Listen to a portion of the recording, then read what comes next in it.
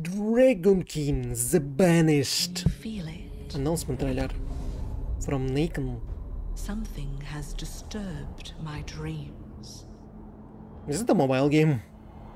An evil once defeated, but whose blood corrupts us still.